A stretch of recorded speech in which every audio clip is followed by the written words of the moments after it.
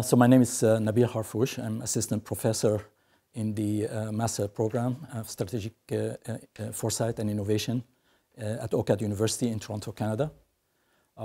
I'm engineer by background, and well, I have over 40 years of experience, so it's difficult to summarize, you know, very quickly. But I've done many things, let's say. First of all, um, in many projects that I did, uh, even before I joined OCAD University, there was design thinking. Uh, I, I uh, am of the view that design thinking exists in actually all disciplines, even though the designers don't want to really acknowledge that.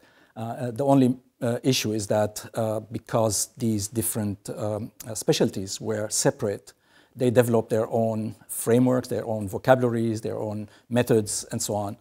And now that we are forced to work together, all these uh, uh, vocabularies and frameworks are clashing, and everybody is trying to own design thinking. Um, so uh, we used design thinking as one of the tools. I don't think it's the only tool to do everything. Uh, so for example, in my institution, we are strong on strategic foresight and design thinking and business thinking, you know. Um, so for example, we did a project for the government of uh, Ontario uh, in Canada about the future of the economy of Ontario in the year uh, 2030. Uh, and uh, you have to design, to use design thinking as well as foresight, as, you know, in, in such a project. Well, the, the most important lesson is the human centricity, as we have been hearing in the conference uh, today. Um, but really, it's, it's the empathy, you know, um, and uh, learning again how to speak across disciplines. So many people are talking about multidisciplinarity, but what we need is beyond that. Multidisciplinarity is everybody around the table have their discipline and they speak about it but transdisciplinarity is something where you understand enough of the other people disciplines so that you can work with them in the gray area, interconnecting.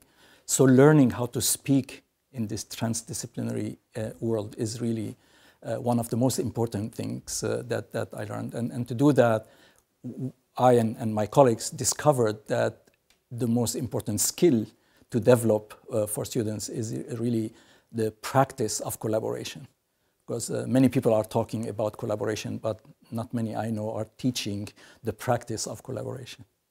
I think the future of design thinking is broader and broader use, but not, again, not alone as one instrument that will solve everything.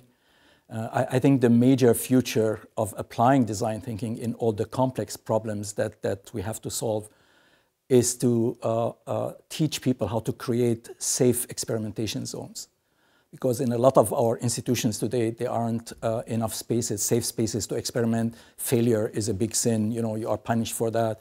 Uh, and and uh, design thinking is an iterative process, which means you have to fail several times before you get to the right solution. So if we don't learn anything else, we should learn how to change the institutional structures to allow for design thinking to happen.